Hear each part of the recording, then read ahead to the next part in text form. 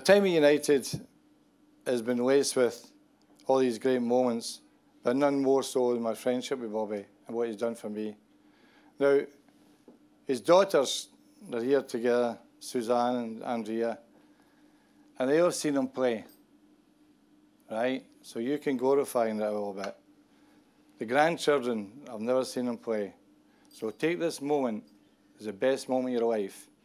You're here when Bobby, your grandson, grandfather, has got a stand named after him. That's the best moment of your life. Don't ever forget it. And make sure you get a photograph taken with it. So, Bobby, thanks for everything you've done for me. Well done.